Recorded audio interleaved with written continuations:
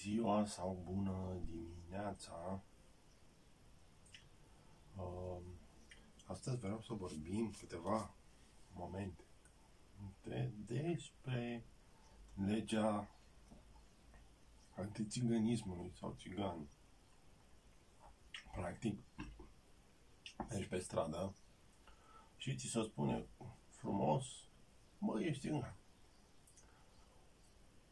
conform noi legi, nu ai voie să-i spui un om că e țigan, că e rom, că nu știu ce, pentru că are și el drepturi. Este o discriminare, odată. Doi la mână, poate să, aduc, să te ducă în tribunal. Și vezi că ajungi în tribunal, în instanță, cu judecători, cu avocați, procurori,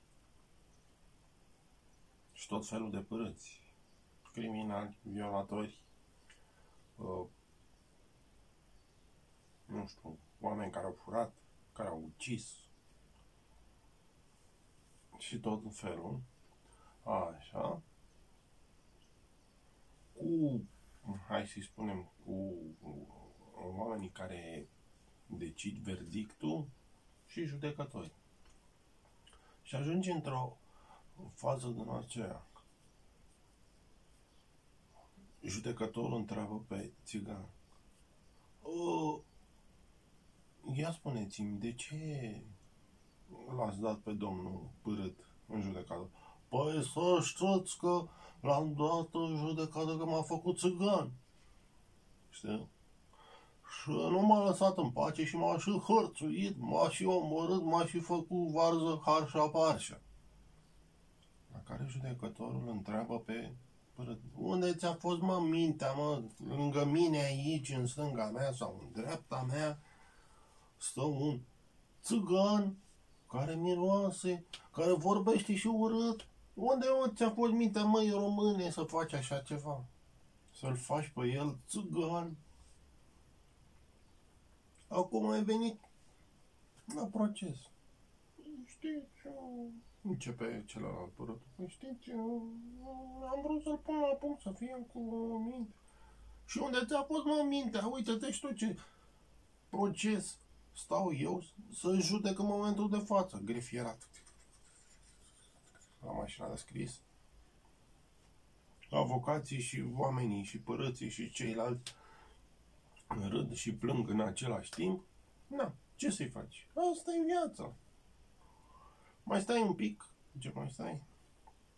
Să termină procesul. Deci, domnul Părât primește închis, închisoare cu suspendare, dar la următoarea recidivă va intra în pușcărie.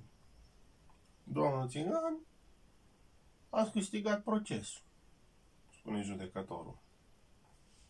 Știi? Și câștigă și asta. Și după ce, bă, așa, țiganul, țigan, na, te-am, ți-am făcut cazier, că ai pierdut procesul și acum ești ca noi. Știi? Cum așa? Ai cazier? Știi?